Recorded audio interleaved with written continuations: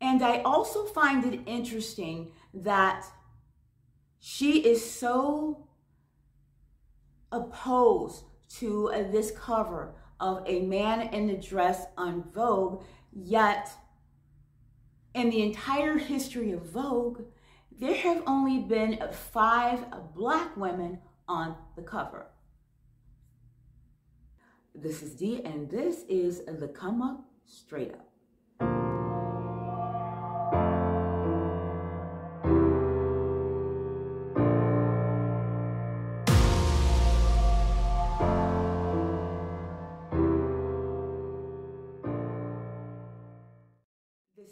Welcome back to my channel. And if you are new to this channel, welcome.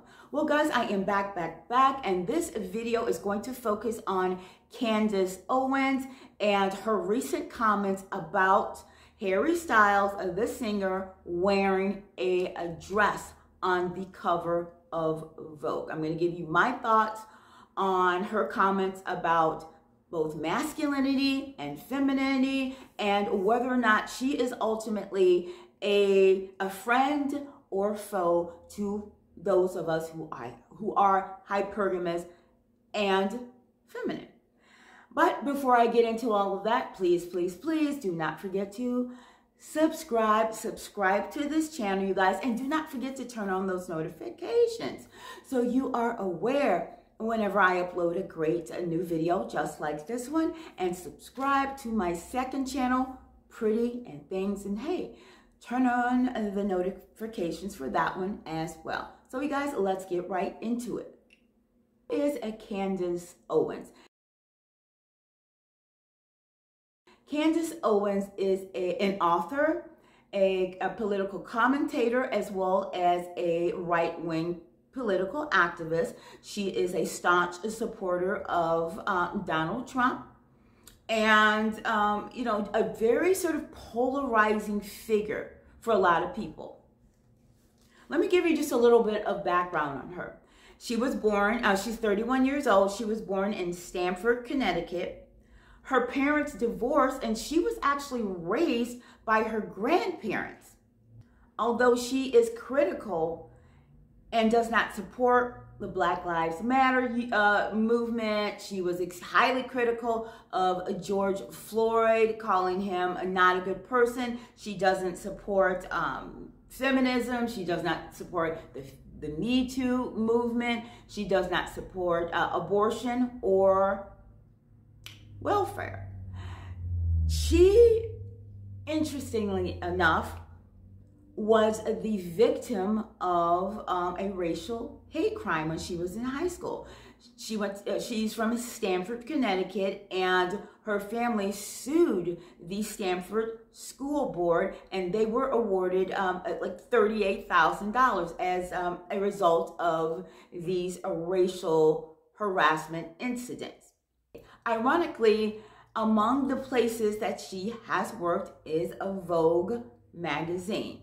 Candace became famous in 2017 for her YouTube channel and her viewpoints, her very conservative viewpoints in support of Donald Trump and uh, against the Democratic Party as well as feminism. Now let's get into the controversy. Over the course of the last two days, Candace has tweeted her dismay, her actually how appalled she is by the cover of Harry Styles Vogue magazine in a dress.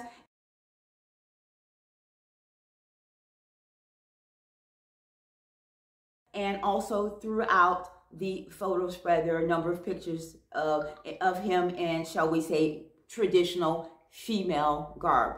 She described that cover as the steady feminization of our men and her cry is to bring back masculine men. She said there is no society that can survive without strong men. Bring back manly men. Her comments created a firestorm of a controversy, which she responded to today by basically doubling down on what she said. She said, since I am trending, I'd like to clarify what I meant when I said bring back manly men. She wrote in her response to the backlash on Monday, I meant bring back manly men. She also said that she is impervious to quote unquote woke culture. In response to her support of bringing back masculine men and just masculinity in general, she also supported femininity. She said, wait until they find out that I also think women should be feminine. And I enjoy cooking for and taking care of my husband. Now let's unpack that. Now, you know that this is a channel dedicated to hypergamy and femininity. I support, I fully support those concepts. This woman does not come from a privileged background. She worked and she positioned herself to have a hypergamous life. Last year, Candace married Peter Farmer, whose father is a Lord Farmer.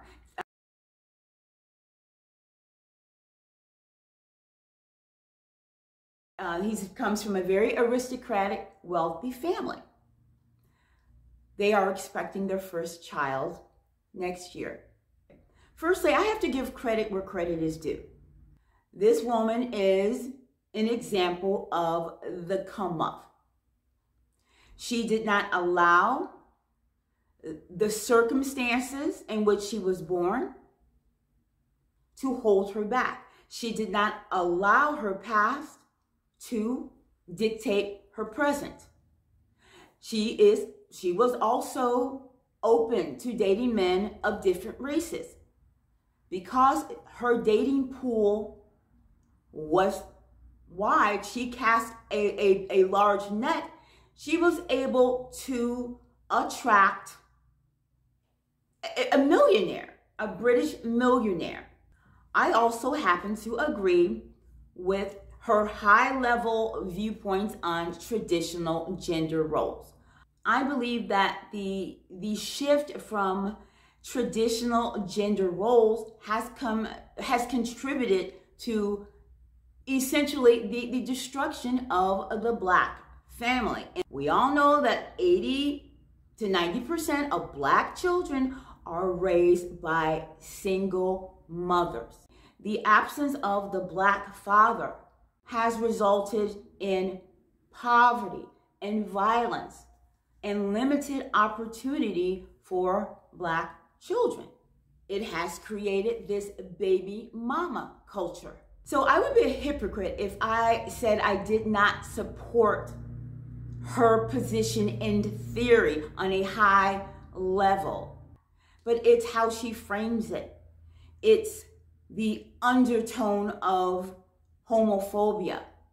And I also find it interesting that she is so opposed to uh, this cover of a man in a dress on Vogue, yet in the entire history of Vogue, there have only been five black women on the cover. In some respects, I understand how a woman who is feminine and you know embraces and dwells in her femininity might look at the cover of Vogue with a side eye. Harry Styles is actually the first man, the first man to be on the cover of Vogue, the first solo man, and here he is wearing a dress.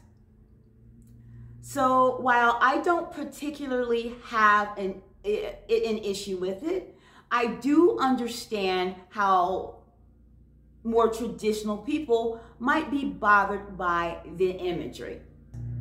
I'm not saying it's right, I'm just saying I understand it.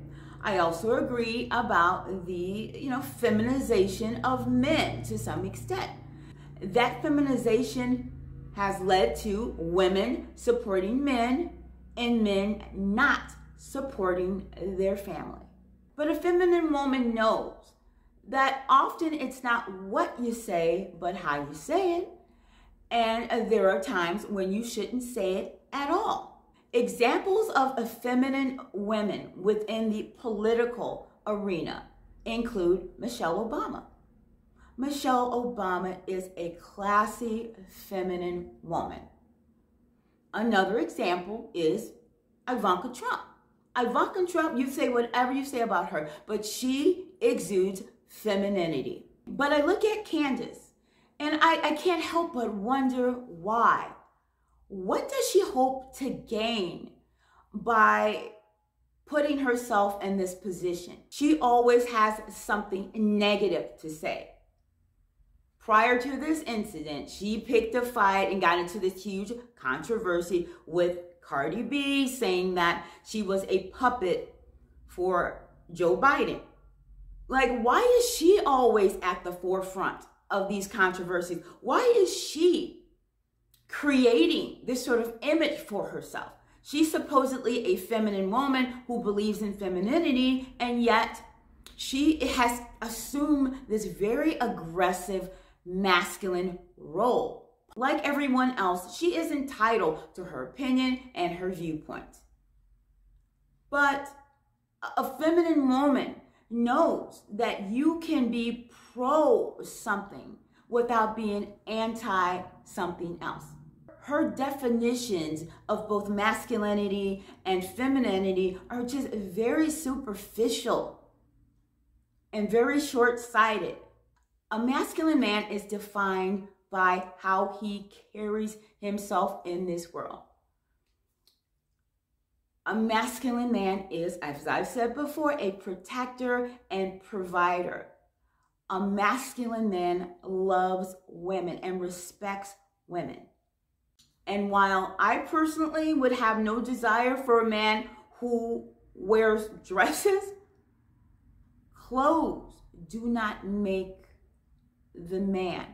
A black woman with such a high profile and such a big platform can do could do so much good for black women, all women, uh, all women, but particularly black women who are frankly learning about hypergamy. Instead of being this sort of beacon of hope and inspiration, she has chosen to use her platform as a means to harm others rather than help. So I hope you guys enjoyed this video. If you did, thumbs it up. And as always, I look forward to reading your comments. Um, please comment below because I, I would love to know your thoughts on this masculinity, femininity, this Vogue cover, and of course, Candace Owens. Please, please, please do not forget to follow me on Instagram and Twitter. So, yeah. Until next time, mwah.